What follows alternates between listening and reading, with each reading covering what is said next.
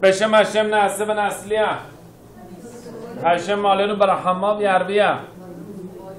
בעזרת השם در روز 15 تموز فردا سر سال هراب حیم بن عطار یکی از مقبالینی که ما داشتیم مفارشین و منفسرین تورا به نام هراب حیم بن عطار که اورحیم مکادوش تفسیرشون رو روی تورا نوشتن ایشون زخوت بالایی داشتن و معجزاتی برایشون مثل دانیل نبی شد که در حتی چای شیران از طرف خلیفه افتادن ولی به معجزه بیرون اومدن و از اون به بعد دیگه متوجه شدن که این شخص یهودی چه دانشمند مقدسیه و دیگه احترامش و شهرتش فراگیر شد.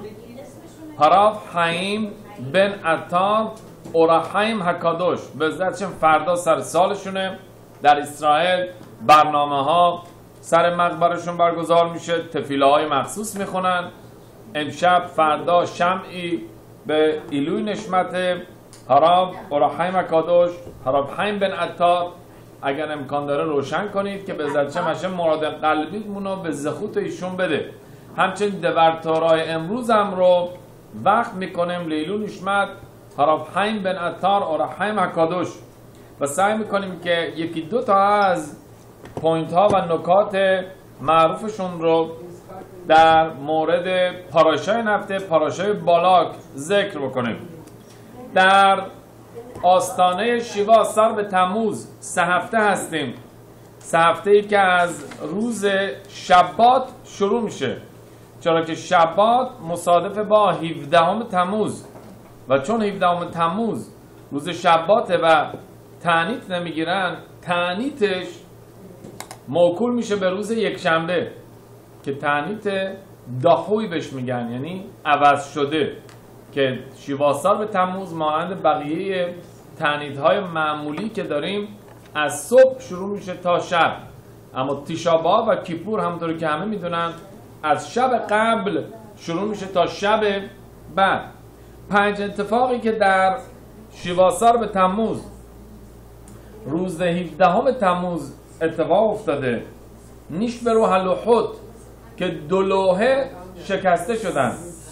این شکسته شدن لوحه ها در پای کوه سینای توسط مشرب به خاطر گوسال پرستی و بود پرستی قوم اسرائیل یک حالتی بود که در تاریخ یک حالت لکه رو در پرونده قوم اسرائیل ثبت کرد.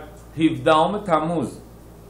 همچنین در به مقداش اول موقعی که دیگه نتونستن قربانی بیارن قربان تامید مینیموم یک قربانی هم که در روز می آوردن در همین 17 تموز دیگه خاتمه یافت پایان یافت و اگر ما ناراحت میشیم که در کلیسایی رو میبندن در 17 تموز در به تمیقداش رو بستن. قربانی نبود که بخوام بیارن در بیت شنی. به تمیقداش دوم.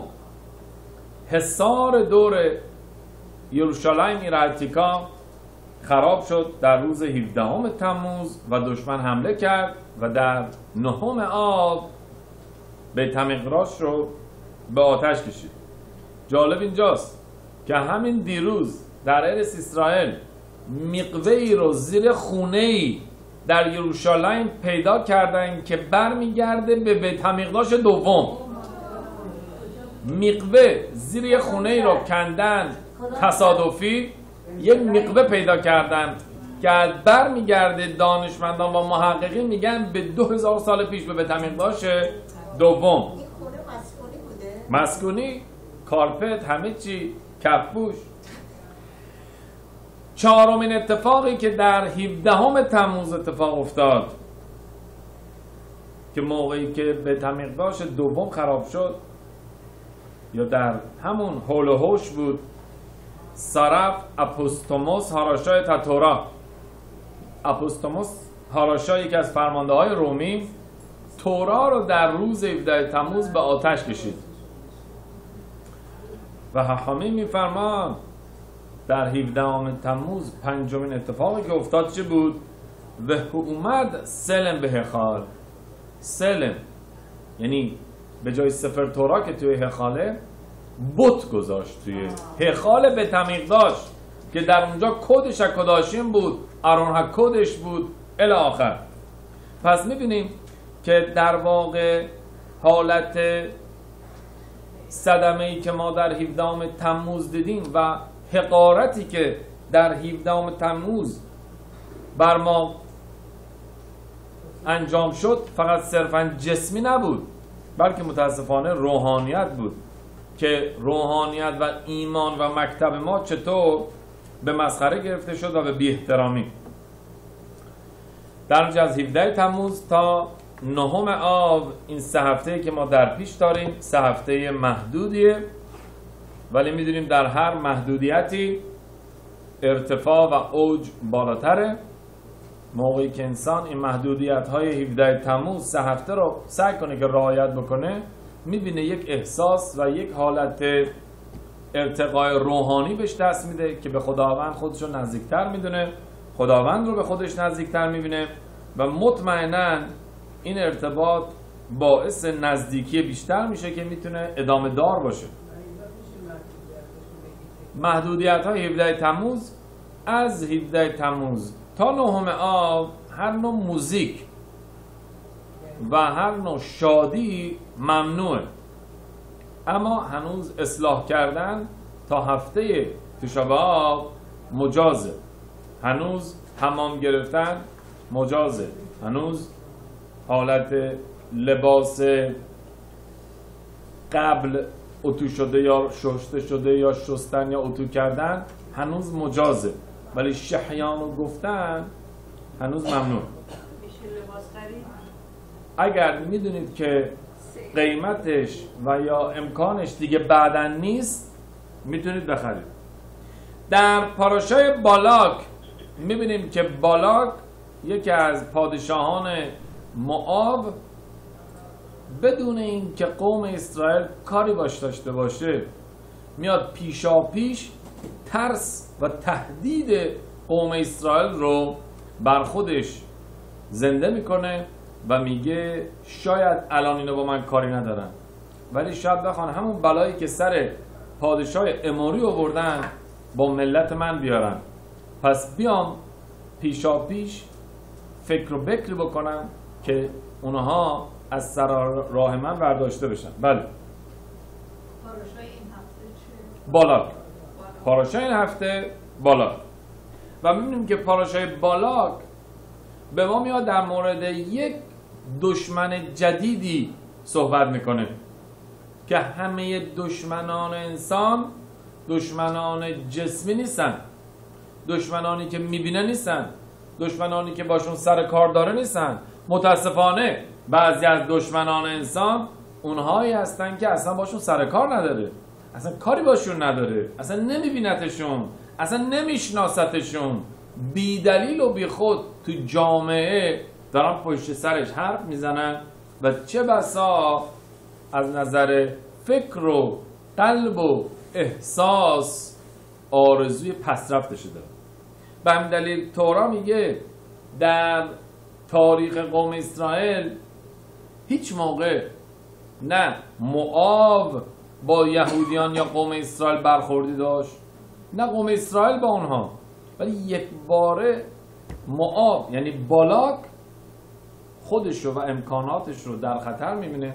به همین میگه باید که یک فکر رو بکری بکنم تا بتونم اینها رو از سر راه خودم بردارم همین idea ی رو کی داشت نزدیک به همین idea رو؟ پرو. پرو قوم اسرائیل موقعی که در مصر بودن نه قاتل بودن نه جانی بودن نه crime جنایت رو بالا برده بودن نه تازه وقت وضع اقتصادی رو بالا برده بودن population جماعت رو بیشتر کرده بودن قدرت نظامی و اقتصادی و همه چی مصر به اوج رسیده بود. یک باره پرا گفت ها بانید حک مالو.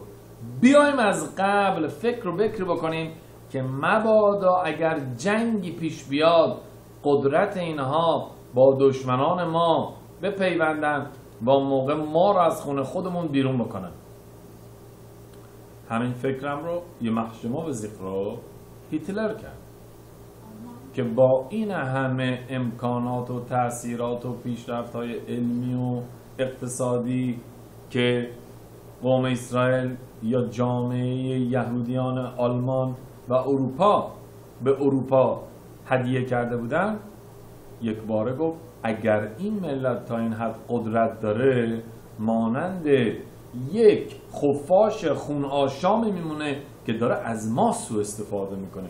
داره خون ما رو میآشامه. برای همین دلیل اینقدر بیکاری در مملکت است. به خاطر سرمایهداران یهودی که در کشور هست. و می‌بینیم که طبق آماری که به دست اومده همین هفته آماری به دست اومده هم گود نیوز و هم بد نیوز هم خبر خوبه و هم خبر بد. یه بار دکتری زنگ می‌زنه به مریضش. میگه have a good news and have a bad news. میگه هم یه خبر خوب برای دارم یه خبر بد. کدوم می‌خوای اول بشنوی؟ میگه خبر خوبه رو بده. میگه خبر خوبه اینه که ما بر طبق آزمایشاتی که تحقیقاتی که کردیم جواب آزمایشات اومده و خدا را شکر هنوز دو روز دیگه به زندگی تو باقی مونده. هم دو روز دیگه وقت داری. میگه خب واسه بد نیوز. میگه راست شما دو روز دنبال دست خبر رو بدیم. قانون یا آماری که امسال اومده همین هفته اومده a good news and has a bad news. Good news چیه؟ که تعداد یهودیان دنیا بعد از هفتاد سال بعد از هولوکاست بعد از جنگ جهانی دوم برگشته به هم تعدادی که قبل از جنگ جهانی دوم بودن. Good news? Good news. What's the bad news? Bad news اینه که یعنی تو هفتاد سال فقط 6 میلیون یهودی تونستن به قوم یهود اضافه بشن؟ یعنی اینقدر اسیمیلیشن این همه انحلال قومی این همه در قوم اسرائیل بوده که فقط 6 میلیون تونستن باقی بمونن؟ بعد از هفتاد سال که برگشته به قبل از جنگ جهانی دوم افتخاری است برای ما. در نتیجه میگه دشمنانی هستند مانند بالاک مانند پرعو مانند هیتلر و ال آخر که همه ما می‌دونیم کیا هستند که اینها به خاطر نفع خودشون امکانات خودشون و پیشرفت خودشون نمی‌تونن پیشرفت کسی دیگه رو ببینن. و پیشرفت قوم یهوده که آزارشون میده پیشرفت همسایشونه که آزارش میده. پیشرفت کازین و پسرخالشونه که آزارش میده. نه اینکه کاری باش داشتن و یا مانع پیشرفتش شدن. میگه این دشمن بدتر از اون یکی دشمنه. دشمنی که میاد باغچه ما را خراب می‌کنه دشمنی که میاد سر به سر ما می‌گذاره. اون حداقل می‌فهمیم کیه. می‌فهمیم دلیلش چیه بهانش چیه. اما دشمنی که بدون دلیل و بدون فاش کردن هیچ نوع علامتی میاد از پشت سر می‌خواد خنجر بزنه میگه اون بدترین دشمنه. این که پای سر دختر مردم پای سر پسر مردم پای سر خانواده ای میان صحبت می‌کنن بدون که اصلا نه این اینو می‌شناسه نه اونو می‌شناسه هیچ هم دیگه هم ندیدن. میگه این بدترین جرمه. در نتیجه در پاراشای کتابو موقعی که میاد در مورد لعنت ها صحبت می‌کنه میگه آسور مکه ات حبرو بس